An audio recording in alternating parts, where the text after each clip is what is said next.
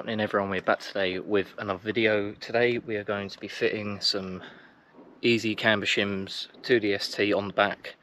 Uh, been wanting to do this for a while just because even still after putting the stretch on if you hit like a hefty bump don't know if you can see but there's like a a wear line on the tire. As you can see like the writing's faded it will catch ever so slightly and it's caused a bit of paint chipping there. So I'll have to address that at some point too otherwise that's going to rust up nice and lovely as it already has started to. Um, but yeah it's basically just uh, I've wanted the car to toe in a little as well it just gives it a nice more aggressive look.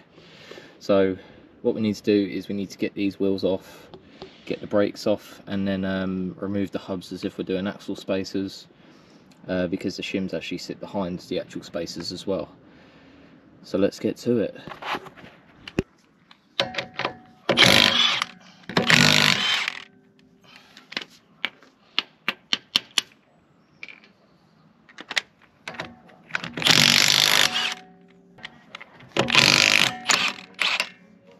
Oh, do not buy lug nuts off eBay. Absolute trash.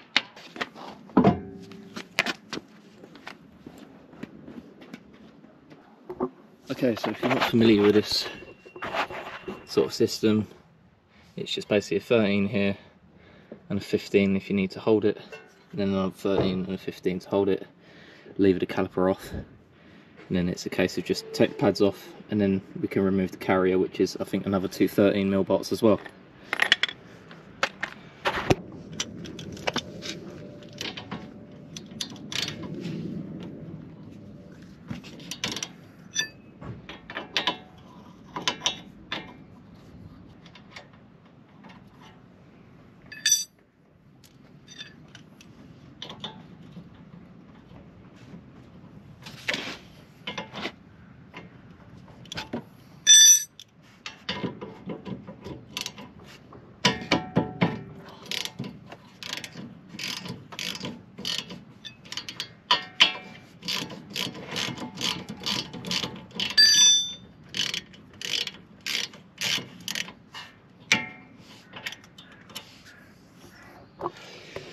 Okay, so now the two bolts are off.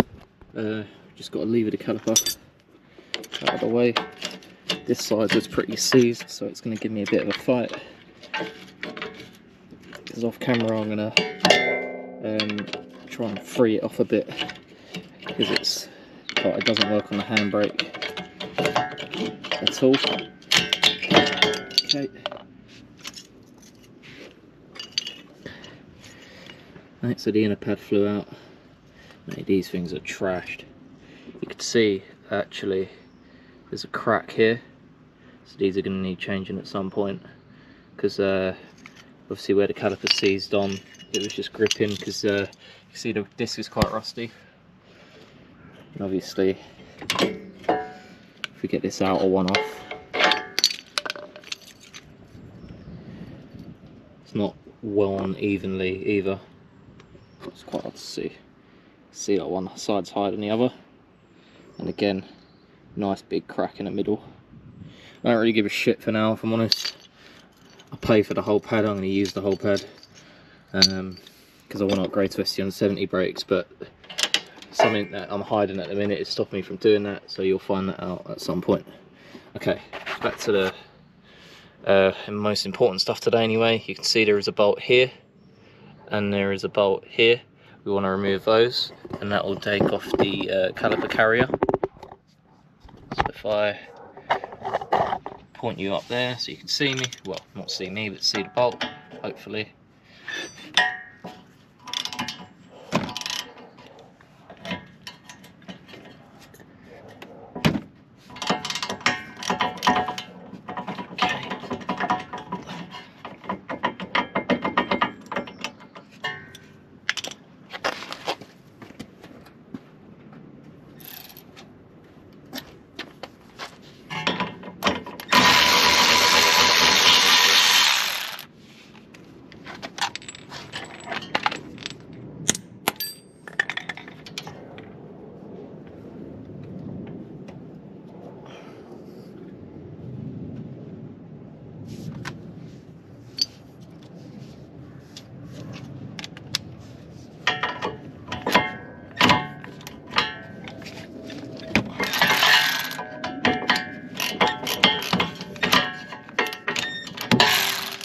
Milwaukee battery ratchet is absolute trash.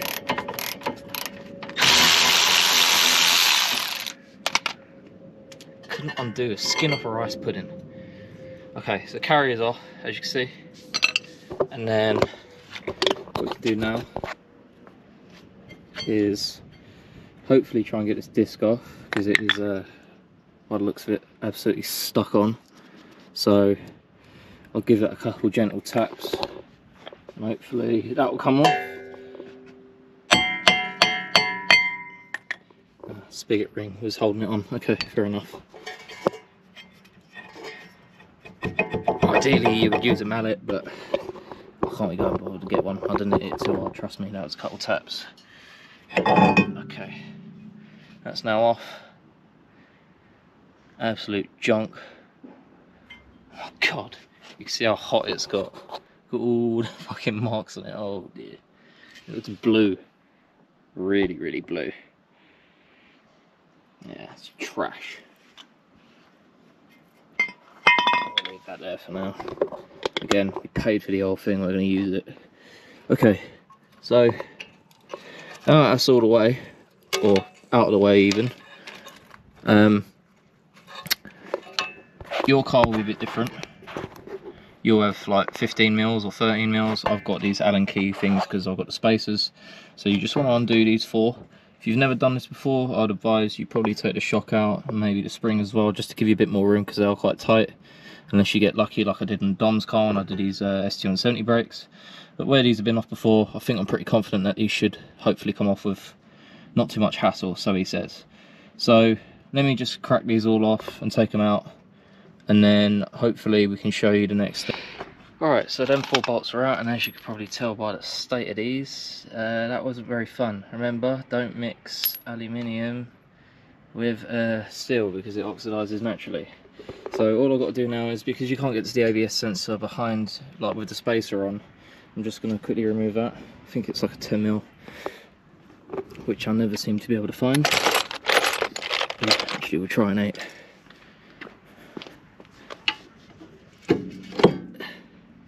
Looks like that could do the job.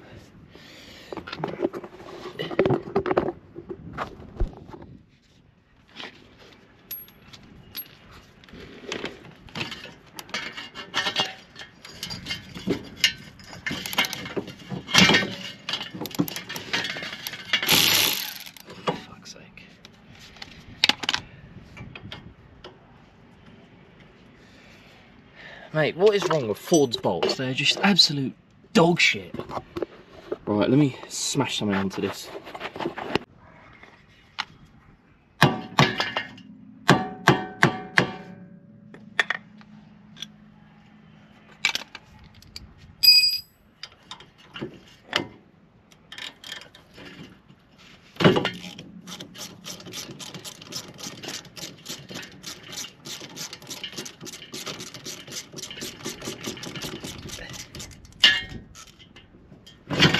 Okay.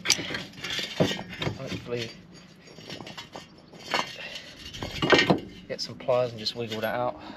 Spray a bit of WD on the other side.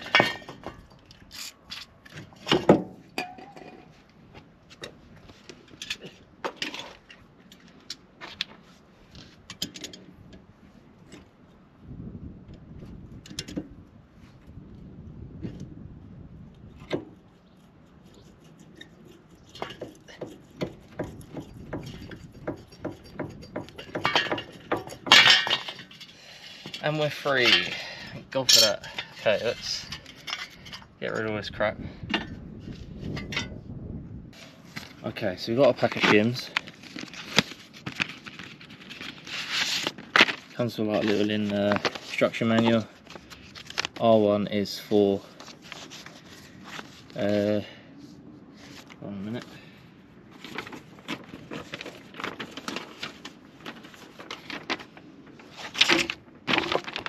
Okay, so as you can see, we've got um, one here for Escort, Fiesta KA, Mazda 2, uh, and you've got to cut out the areas that are shaded in. This part is only apparently for the ABS sensor on the Ford KA, so hopefully we'll get away with that. And then what I've done on the actual shim itself. I've just drawn it in with a Sharpie where I need to cut on both of them and marked at the top because on the back of this paper you've got a big big list of uh, readings on what you can set the shims to. Um, these shims got to one and a half degrees negative camber, one and a half degrees positive. Um, I'm maxing them out on one and a half degrees negative. So what I've done is I've looked for the 1.5 degrees, which is here, and then I didn't know no toe, because you can do this to correct your rear alignment if it's out and it can't be adjusted. Um, because I'm adding zero degrees of toe, the numbers there are 2020 and then all you need to do is you see like numbers on the top and the bottom.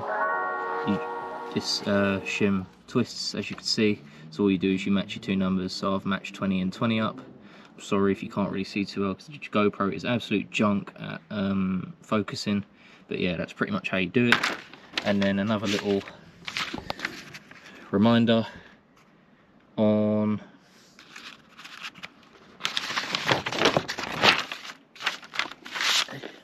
the rear right, which is um, obviously the side that we're doing now. The shim, like the numbers on the shim face the installer, and what that means is we're installing them from facing the front of the car so the shim will face us. And on the left hand side, the shim will face the other way. Because otherwise you'll get uh, wrong camber readings and it will be all over the place and you'll be scratching your head wondering what the hell's going on. So what I'm going to do, I'm just going to cut these tabs out and then um, hopefully get it fitted on the car, make sure everything's alright, uh, like lines up all well and stuff, and we'll go from there. Hopefully I don't need to cut out them extra tabs for the ABS sensor, but if we do, it is what it is. So let me just cut these off camera, because as Roger would say, we're about to see some claret because I'm getting a Stanley knife out.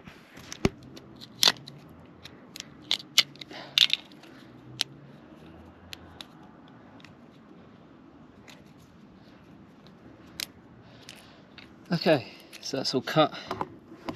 Let's have a little look.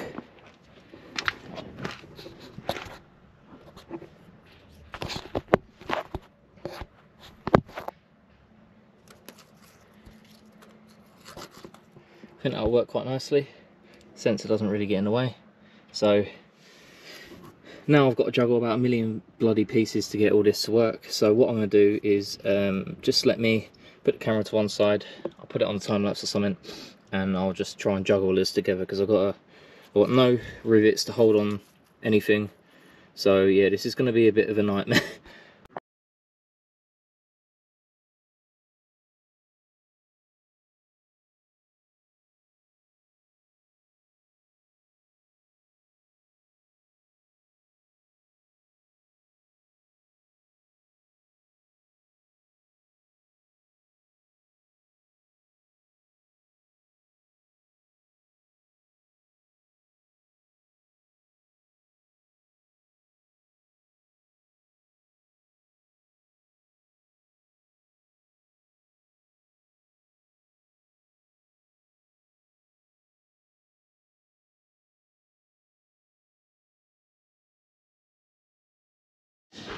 Okay, so not as what I wanted to go to plan because I've now got to go out and get some bolts because these are too short at the bottom.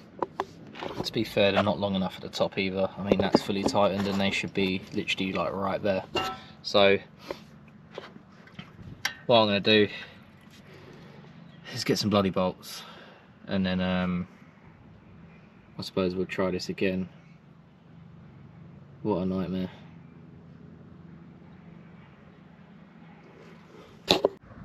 Okay, so we've got the hub on, as you can see.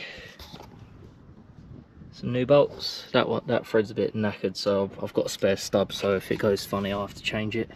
Um, ended up getting some M10 by 50s, and I only had to cut about three threads off for them to work properly. Um, unfortunately, they're not the same grade, because these are like 12.9 and these are an 8.8 but it's only temporary. I've got the 12.9s on order. I just want to make sure everything fits and works.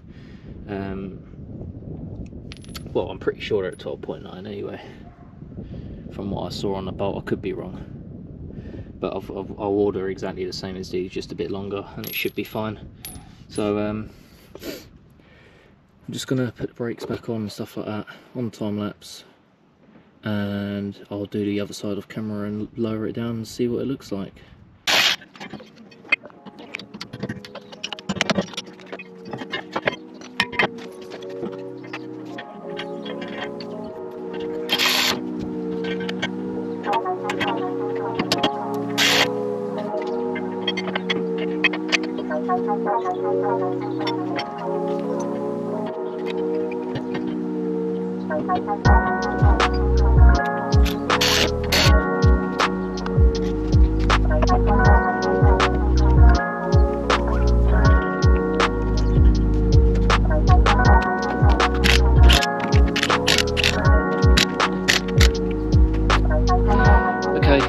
Side has the shim on as you can see. I just wanted to quickly point out to you guys before, it, well just in case you forget, remember the numbers face the inside on this side. So on the driver's side, if we go, uh,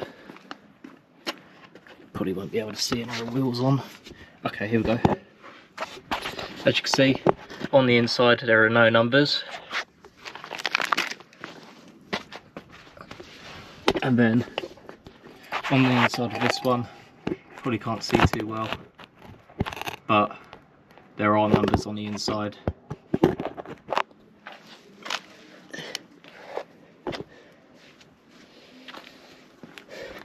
But as you can tell, the other one had the numbers on the, uh, well, the other, the driver's side had no numbers on the ins on this side, and then obviously passenger side has the numbers on this side, just so the negative camber is equal and actually uh, does what you need it to do because otherwise it will all be opposite and it will all be, all be messed up. I just wanted to point that out to you guys just in case you guys forgot. Okay, so we boshed that side out. I quite like working the passenger side because it's never as rusty as the driver's. Okay, so um, let's get this stand out the way. I can already see he's toeing in, oh my god. These are fucking big time.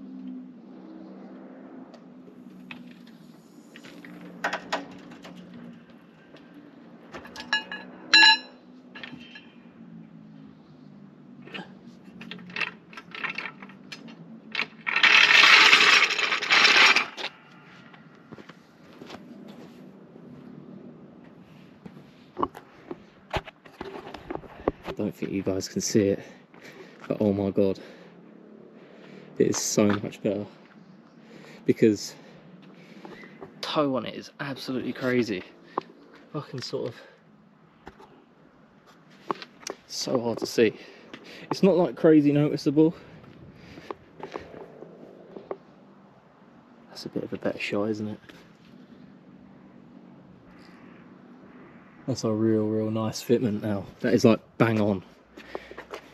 Like before it was good, but this is like fucking. I could slam that on its tits and it wouldn't rub whatsoever. It's nowhere near gonna rub now because I don't know if you can see up. Well, no, you can't, but it's like taken all the paint off the fucking arch where it was before.